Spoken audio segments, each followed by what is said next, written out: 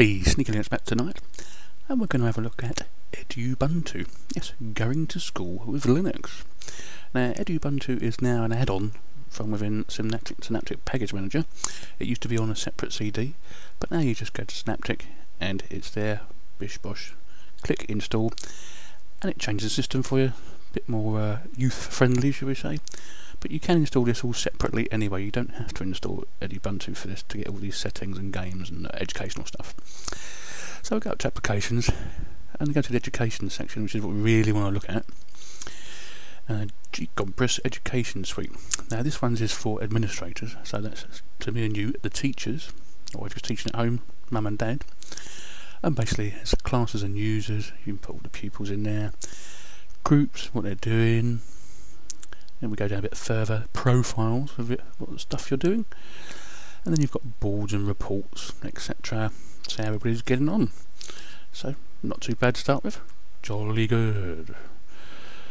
We'll click there eventually. There we go. It come up. It was thinking about it, but it's come up now. Oh, we've got bits on the bottom there, help and go away. We'll come out of that and we'll go back to applications, back to education, and we open up the educational suite. Now this is for children from 2 upwards, so it's suitable for quite a lot.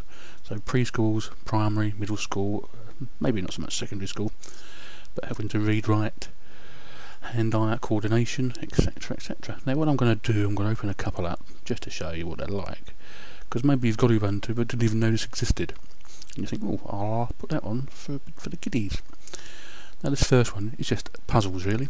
It's basic six piece and all you do drag all your bits over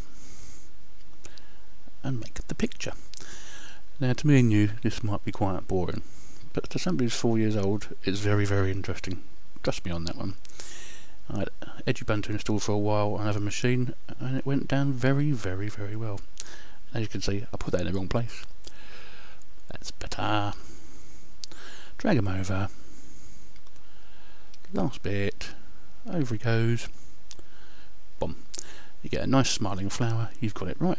So that's cool. Now you can go to the next one if you want to, and it'll keep going on, on, and on. But we'll go back to the home page of GCompris, and we'll have a bit more look through for you. So there's number games, there's of That's pretty popular in our local school anyway. You've got Sudoku, another popular one sliding puzzle game, drive the crane and copy the model. So I'll click on there and basically you do what it says. You drive the crane round and get it right, just to copy the model. So that's cool. So we'll go back to the home section again. There we go. I'll open another one up. So there's lots of sections here as well, which is quite good. Don't you think? Plenty there for children to look at a lot of uh, schools around Europe do actually use this now, so it's free after all. They just pay for the support. Here's a spelling one. You just put in the letters, obviously this is the easy bit. If your children are older, you set it for an older age group. Easy peasy. Yeah, I'll show you, can get it wrong. I won't do the I, I'll go down and put an L in. And we get an unhappy flower. Mm -mm -mm. Not good indeed. So, that's not too bad. We'll click on home again. There we go. And there's normally around about between 6 and 10 apps per section. So that's not too bad. We'll go back down to education again. As you can see, plenty in that section. KPercentage. a Bit more for older children.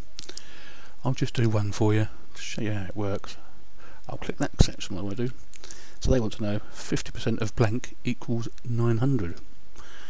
Now, me and you know what that is, but if you're seven or eight years old, you might have to think about it. So I'll put in the answer as 1800, because the answer. Click on apply, and you get the bouncing ball there. And basically, that's how you do it. Now, you can change all the uh, actions here, number of tasks per section, from 1 up to 10 and you can change the levels as well from easy to medium to crazy so I imagine that's pretty hard will come out. I'll show you a couple more while we're here. Back over to education.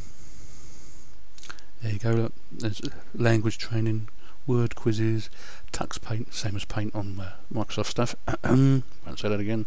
Periodic tables, letter games, fractions, tests and exams. You can edit all them. That's for teachers again. Uh, there's KHangMan, another good one. It's fun and educational at the same time. So that's cool. Back over there again. We go back down. If we go to games, you'll see some extras on here. You've got TuxMath and Tux Type. Now you can add these from Synaptic anyway, but hey, if you're going to get the whole lot, just get the whole lot. Might as well, might we, really? On internet, you've still got Firefox, you've got Gobby Collaborative Editor, editor, editor. couldn't say that one. You've got Scribus, also, that comes pre-packaged with Edubuntu. Now, Scribus is a desktop publishing program.